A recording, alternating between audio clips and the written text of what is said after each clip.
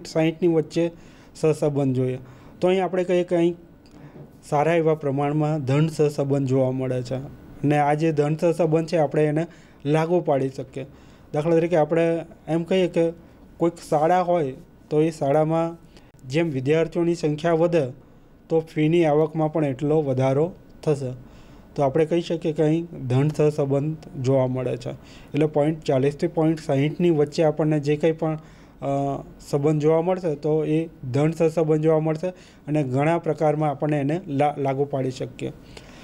એનાથી આગળ આપણે જોઈએ કે પોઈન્ટ સાહીઠથી પોઈન્ટ એંસીની વચ્ચે જ્યારે આપણને કોરિલેશન મળશે, તો આપણે કહીશું કે ખૂબ જ સારો એવો આપણને સહસંબંધ જોવા મળે છે. ને આ જો, આ પ્રકારનો જો ધન સહસંબંધ આપણને લાગુ પાડીએ તો એ આપણને ખૂબ જ ઉપયોગી નીવડે છે.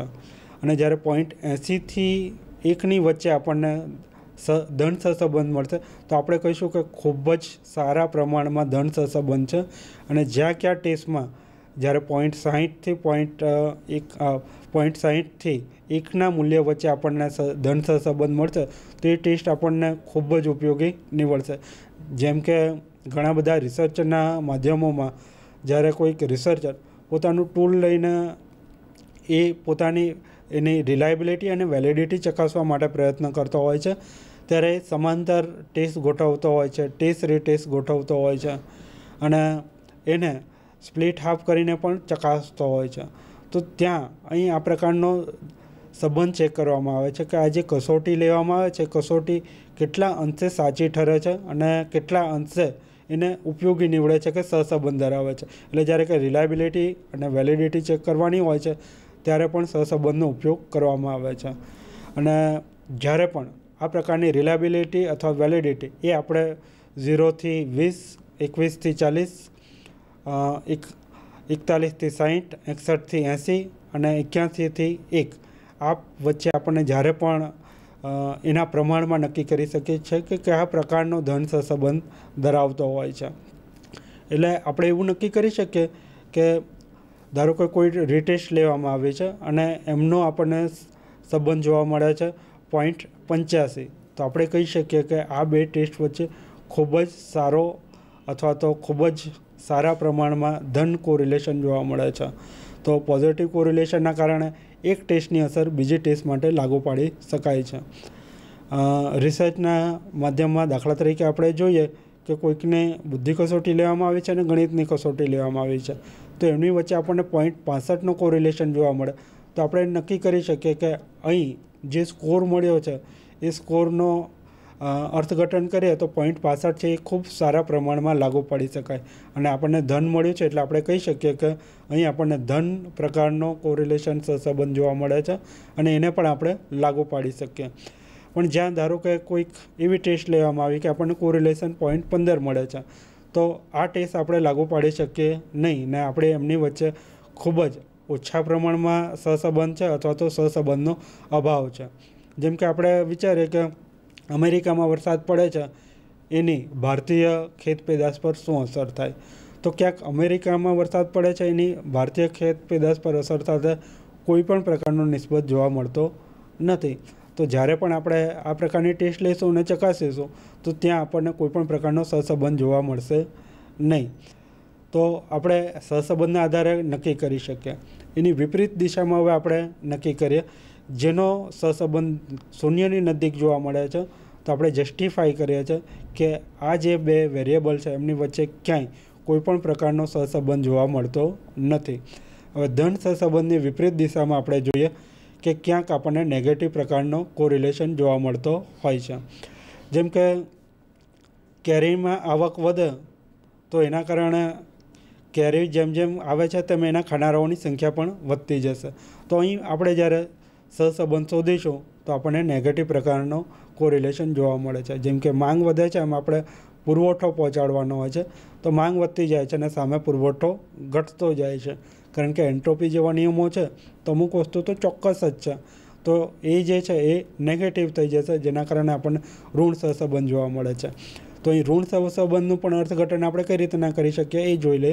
જ્યારે આપણને કોઈ બે શક્તિ અથવા તો બે કસોટીઓ વચ્ચે આપણે ગુણો લઈએ અને એની સરખામણી કરીએ અને એ સરખામણી કરતાં આપણને ખબર પડે છે કે ઝીરોથી પોઈન્ટ વીસની વચ્ચે એ આપણને નેગેટિવ પ્રકારનું કોરિલેશન જોવા મળશે. તો આપણે કહીશું કે આ બે જે કસોટીઓ અથવા તો ગુણો વચ્ચે નેગેટિવ પ્રકારનો કોરિલેશન છે, પણ ખૂબ જ આંશિક પ્રકારનો કોરિલેશન છે. તો આપણે આ પ્રકારની ટેસ્ટને લાગુ પાડી શકીએ નહીં.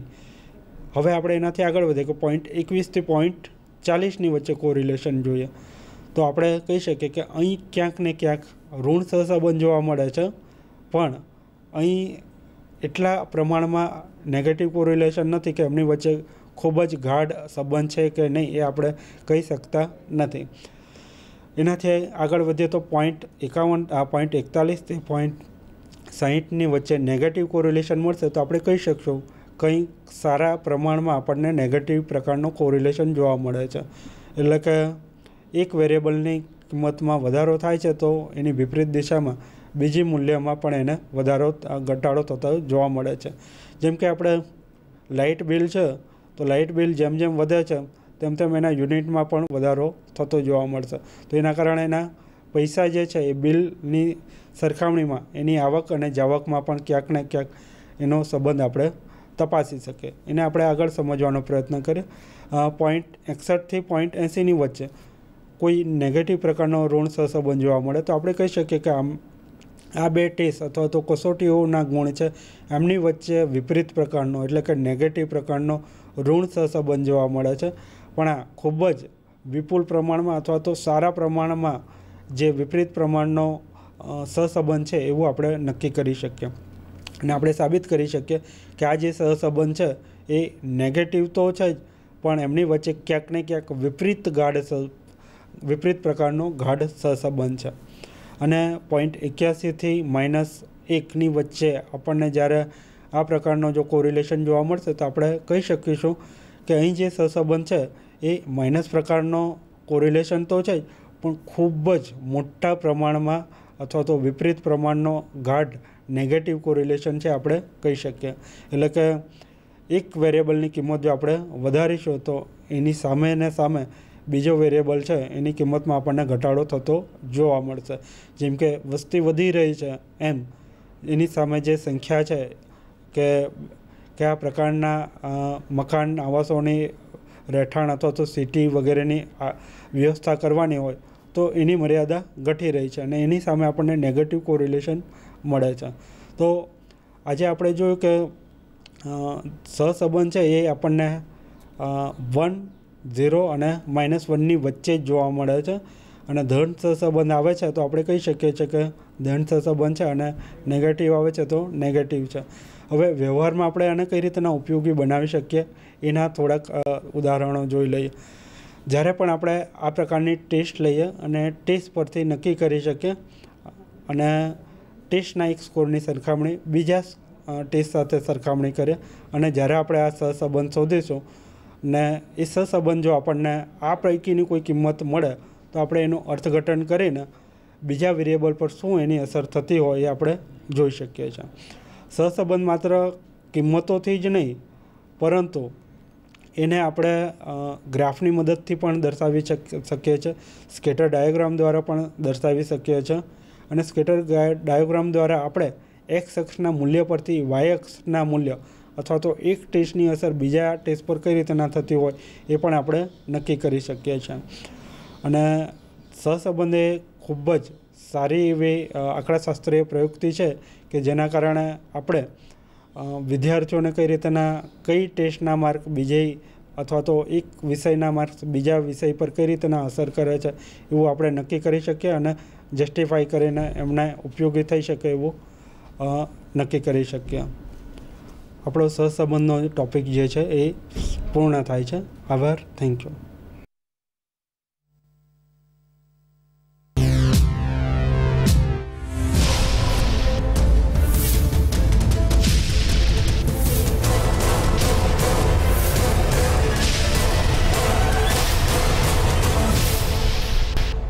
Sandhan.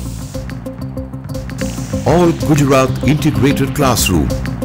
સેટેલાઇટના માધ્યમથી જોડતી કડી એટલે સંધાન